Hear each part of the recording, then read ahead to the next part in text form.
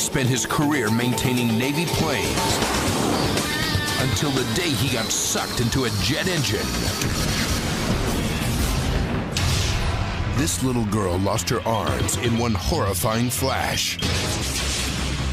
See how she overcame adversity to live the life she wanted. I can pretty much do just about anything with my feet that you can do with your hands.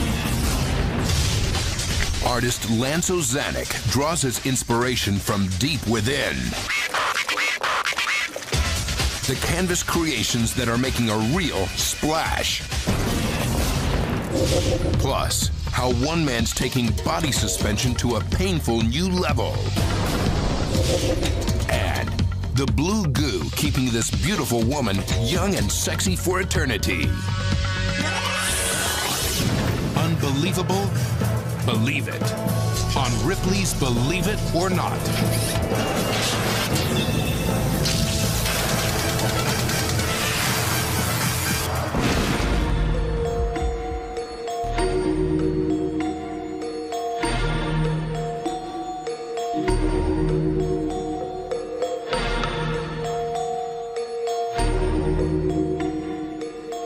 Hello and welcome to Ripley's. This is where the artifacts and objects representing the stories are preserved. Here's the headline for our first story. A crewman on the flight deck of an aircraft carrier gets sucked into the engine of a jet, a little smaller than this one. What's unbelievable is that there could be a happy ending to this story, especially after you see this footage. Desert Storm, 1991.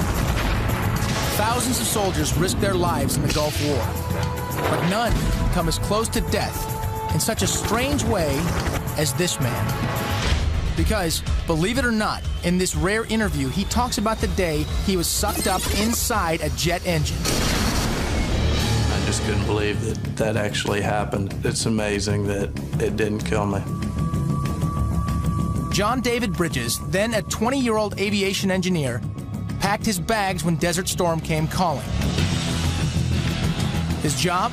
To inspect jet aircraft on the flight deck of the USS Roosevelt.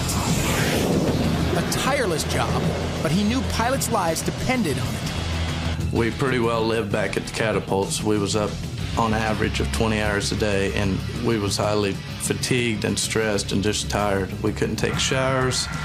We ate out of box lunches every day. You're just dead to the world. You're so tired. Little did John know it, but a routine day on the job was about to change his life. It was while training a new recruit that disaster struck. I went in to check the nose gear launch bar and the whole back bar to make sure that everything was right and everybody was out of the way. And when I did, I walked in instead of kneeling, and just like in an instant, I didn't even know what happened. It sucked me in so quick. It's just that fast. It's difficult to see on this Navy video, but that figure crouching in the right hand corner of the screen, then walking toward the plane, is John. Now, watch. In a split second, he is literally inhaled by the thrust of the jet engine. When it started sucking me in, I could feel it pull me. In a split second, I tried to pull away, and there was no way possible. It pulled me in like a bolt or dirt or some other material. The flames shooting out the back are John's clothes being spit out by the engine. He would surely have died if not for one thing.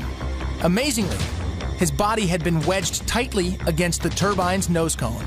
As soon as I uh, got sucked into the intake, it sucked all the air my, out of my lungs, and I couldn't breathe. I would say for maybe a minute. And the safety observer shut the jet down, and that's when I started breathing again and crawled out. But how badly had John been mangled? Would his uncanny accident leave him a broken man? Miraculously, the only injuries John sustained were a fractured collarbone and a punctured eardrum. Nobody really said a whole lot of anything to me afterwards. They just kind of looked at me and like it was astonished I was still there.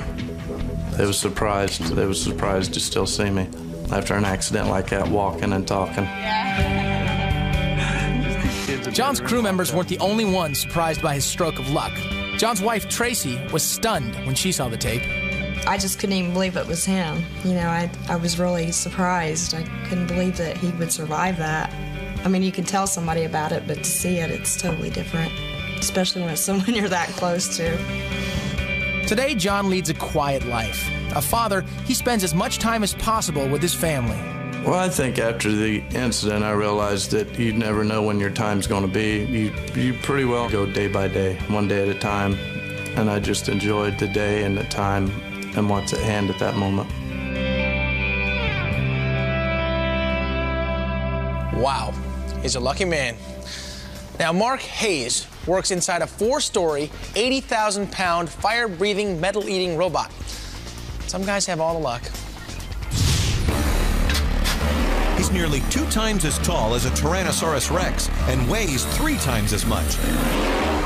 He spits 20 foot flames and chews up full size cars. Now, this fire breathing mechanical monster could be biting off more than he can chew, attempting to crush three full sized cars in its massive jaws.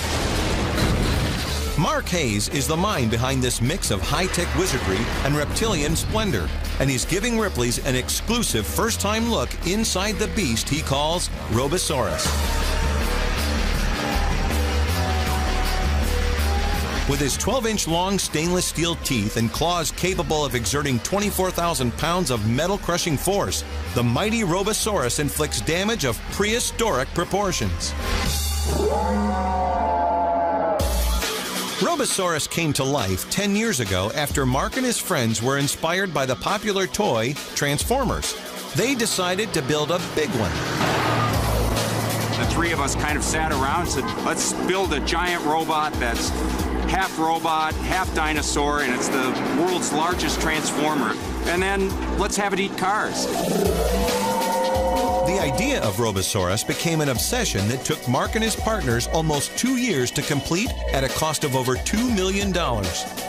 Making a giant toy like this, it's every kid's dream. It was a blast. Just the first time you saw a kid's face just light up when Robosaurus came to life, it was all worth it. And being the brain of this car crushing robot is no easy job. Piloting Robosaurus is multitasking taken to its limit. To have to have your arms locked into devices, move your arms to move the robot's arms, all your fingers are on double sided switches controlling devices, having your feet on pedals to drive it. Add to that that you can't see that well, so you've got to use a video camera and a monitor quite often. For Mark, Robosaurus has become a family affair. While he's piloting the robot, his 21 year old daughter Serena is the special effects coordinator. Okay. I love working the Robosaurus with my father. Yes, my dad owns a 42 foot tall robot that eats cars and blows fire. What does your father do? As Mark and his daughter prepare to put Robosaurus's car crushing ability to the test, they check and recheck to make sure everything is running smoothly. Because the crew is working with heavy equipment and fire hot enough to incinerate a car, there are always possibilities for things to go wrong. Probably the biggest danger has to do with fire. You have to be really cognizant of what direction the wind is. When these cars start burning, it gets to be a pretty big fire. Finally, it's showtime. Thousands have gathered to see the Robosaurus in action. As its first victim gets ready to bite the dust, the crew beneath must beware of falling, burning debris. Now that this fire breathing beast is warmed up, Car 2 quickly joins Car 1 on its way to the junkyard. A spectacular flame filled finale, Car 3 is reduced to a charred heap of scrap metal.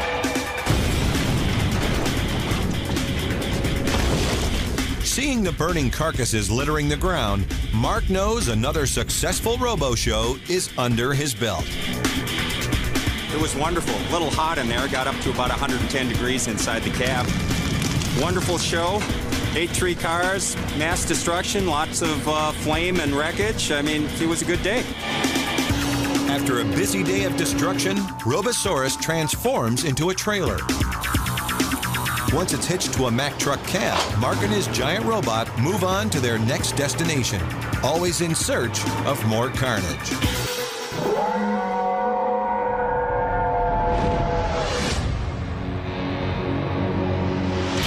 Next, it looks like an average cab, but this taxi is about to take you for a ride into another dimension. Plus, this is no ordinary suspension. Find out why this guy risks getting ripped apart like a wishbone. And the art is stopping time in its tracks and capturing life's most precious moments with his one of a kind creations. That and more when Ripley's returns.